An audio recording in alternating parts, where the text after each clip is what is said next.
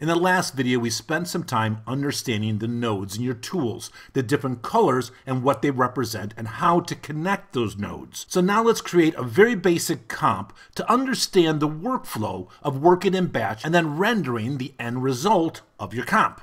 I'm going to hit the D key because I want to get a damage tool.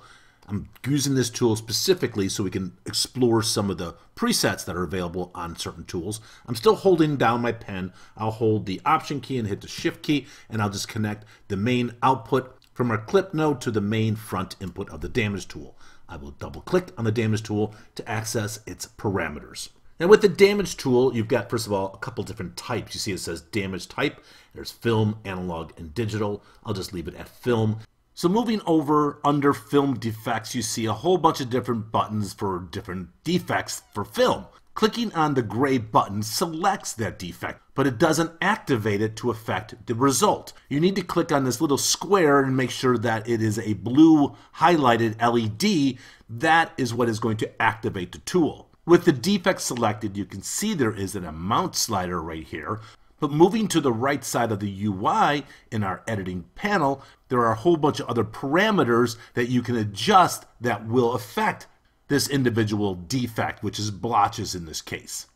So in this case, I can adjust the amount here. I can add transparency if I wanted to, and so on. So for example, if I if I click on the blue LED to turn scratches on, I could start to adjust my amount, but notice that over here I'm still looking at the blotches parameters. So I click on scratches and I get all the parameters for the scratches and you can come in and start to adjust this and make the different parameter adjustments that you want. But understand that this tool and many other tools will have presets that you can access and use inside of Flame you'll see the preset button listed over here and there's a little blue button with a triangle which we know that means there's a flyout. I'll slide up and I'll choose the 70s preset. Now what's going to happen is we're going to receive the confirm operation dialog box because we already have adjusted this tool and Flame wants to make sure you realize that when you confirm this the preset or the adjustments that I've already made is going to be discarded and this new preset is going to be applied to the damage tool. I'll choose confirm and then you'll see all these different parameters are preset for me because of the preset. So now if we scrub our playback, we can see the, the effect of the 70s damage tool. Now there's a hotkey, a modifier key you can use, so when you apply a preset, you don't get that confirmed dialog box. And this is true in many areas of Flame where something such as a action has to be confirmed. What that is is the Option or Alt key. If I hold my Option key down and I go back to that flyout and I'll slide up and I'll choose Security Camera, you'll notice that I didn't receive that dialog box. I automatically overrode the 70s preset with this new one that I just created. So now I have a totally different effect that's been applied and I didn't have to confirm that I wanted to override the existing one.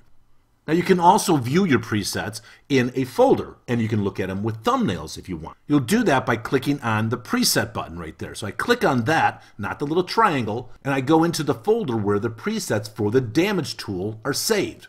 There are three subfolders, three subdirectories, if you will, and you can go into either analog, digital, or film. I click on analog and we're looking at the presets as a title.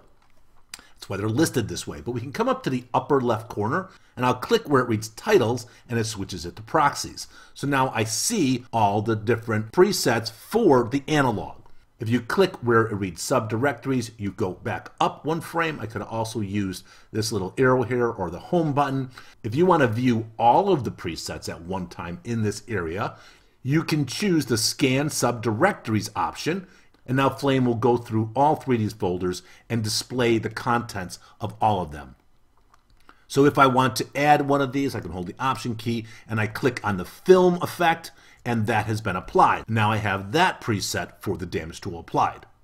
All right, I'm going to go back to my effects node, so I click on that button to access that. I'll hit the E key because I want to get my edge detect tool. I'll just double click on it and it's added directly into my schematic.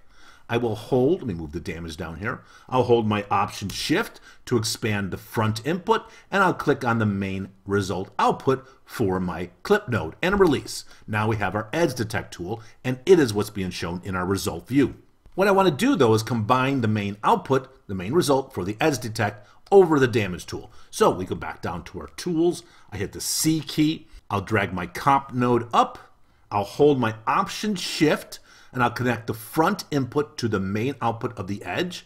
Then I'm going to release the option and click on it again to get the back extension. And I'm going to click in the main result of the damage tool. So now I'm compositing the edge detect over the background, which is the damage tool. Double click on our comp node to access its parameters. You'll also notice that on the comp node you have two matte inputs, one's for the front and one's for the back, but I'm not going to use those in this case, but I just wanted to point it out to you for reference so that you understand you can use mattes to control what is going to be comped as far as your front and your back. Down under blending, you're going to see your different blend modes. And right now, by default, it's at blend. If I click where it reads blend, I get all the different flame blend modes. Now, here's another nice thing. If you're coming from Photoshop or you've used GIMP before, you can change what blend type you're going to be using. Right now, it reads flame, but that's what we're going to access. We're going to access all the flame blend modes. And these are great, but maybe you want to use Photoshop. So you click where it reads flame, and now you get the other options of GIMP or Photoshop. If I choose Photoshop and then I go back to my blend mode, you're going to notice I get all the different blend modes that are the Photoshop blend modes. So I'll choose Screen as my blend mode, and then you have independent transparency settings for both your front and your back. Let me zoom back a little bit, Control Spacebar, inside of my schematic view. A great hotkey to know or learn when you want to move and select multiple nodes at one time is holding your Option or your Alt key and clicking on a node, and it's then going to select all the nodes that are upstream from that node. And then you can move them all very easily at one time.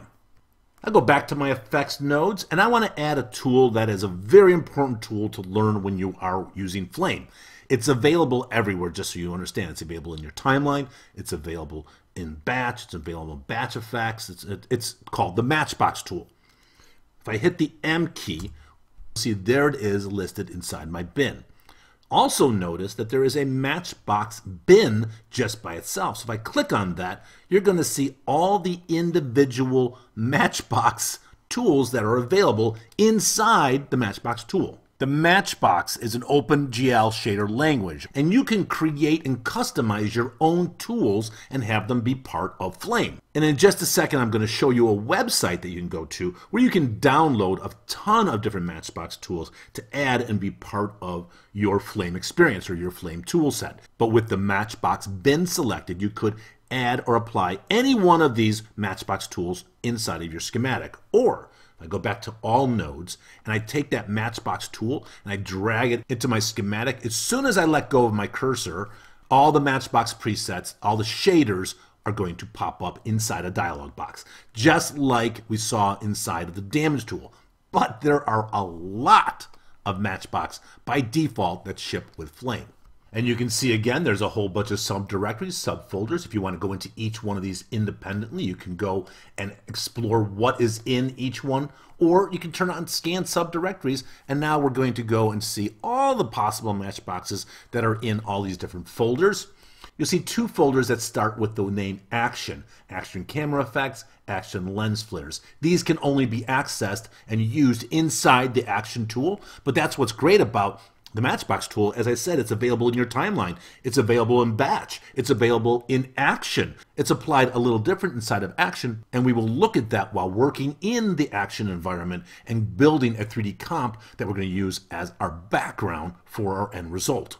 I'm going to disable scan subdirectories, and I just want to apply this fabric effect. So I click on that, and that is now the end result of my Matchbox tool. If I double click on it, you can see the parameters say size and effect. But now we need to connect our node, so I'll click the main output for my comp node, and then I'll click on the main input for the Matchbox tool. And now if I start to make adjustments to the size and the effect, you can see the end result inside this viewport.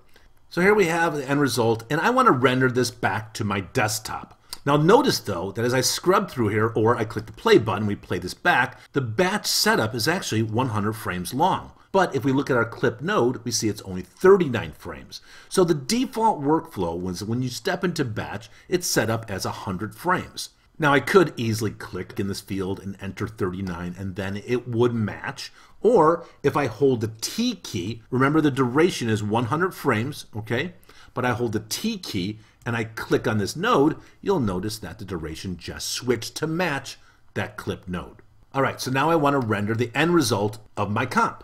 So we go to our effects node again. You have a write file node and a render file node. If I take the write file node and I drag it in, I'll hold Option Shift and I will connect the main result from the matchbox into the main front input of my write node. I double click on it and you'll see there is a path as to where I can render this file.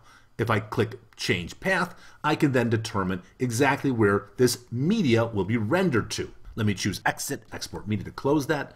You can control what frames are going to be rendered, what range will be rendered. You have the option of rendering to several different sequence file formats, DPX, and so on. And if you remember, in the very beginning when we created this project, I talked about adding tokens to be part of the rendered file name. Now, right now, my write file is just named write file 75. And with it selected, you'll see where it reads node, this is the name of that file. If I click on it, I can receive a dialog box that's asking me what I'm going to name this. I can eliminate the pattern and enter Ken, and then I can start adding some tokens, such as the date, the year, either in two different formats, the month. Remember, user nickname, project nickname. I'll choose project nickname, and look what happens. Flame is going to add my project nickname as part of the name that we're going to rename. So I choose rename, and now I've renamed this, and it's ready to be rendered. I go back to the first frame. Then if I clicked render, that would generate that file with this name to this path. It's not what I'm going to do. I don't want to do that. I want to render this back to my batch renders on my desktop. So I'm going to take a render file and drag that out. And then I'm going to hold Option and Shift and do the same thing. I connect the Matchbox result to the front input for my render. I'll double click on that render node and I can rename this, same way as we did before. I'll name this Ken I'll put an underscore this time, and then I'll add the project nickname like I did before, choose rename. Then there's different format and settings you can adjust and change if you need to, such as I'll say I want this to be 10-bit, not 16-bit. And then there's the render destination. Here's where you control where on your media panel is this rendered file going to go. By default, it's set to go to your batch reels and put it on your batch render. So remember over here on my batch shelf, I've got a reel that's called batch renders. There's no clips on yet, but that's the default destination. With batch reels still selected as my top destination, I can choose any one of the other schematic reels or shelf reel if I wanted to, or I can create one directly from here. If I click on the top flyout, I can choose my reel groups, or I can choose a library to render this out. I'm going to leave it set to the default batch reels, batch renders. And then when I'm ready to render, I come over here, I click render. Flame now goes through the 39 frames, generates the rendered file based on the render node settings. And if we look over at our media panel on the batch renders, there is the image we just generated. If I go back to my tools tab, there is that file that we just generated. I double click on it, I'll bring it up in the player, and I can play this back if I wanted to. All right, so that's a quick overview of the batch workflow inside of Flame. I'm going to end this video with showing you the website I was referring to earlier. I'm going to jump over to my browser. This website is logic with a K dash matchbook.org. This is a location where you can access all of these Matchbox shaders for free. You can download them independently if you wanted to, or you can just download the entire collection, unzip it on your system, and then access it from within Flame. You can also share shaders that you might have created. So it's a great resource to know about when you're using Flame. Let me just click back on my Flame to go back to that. So that brings this video to an end. In the next video, we start to build the actual composite that's going to be the end result of this tutorial.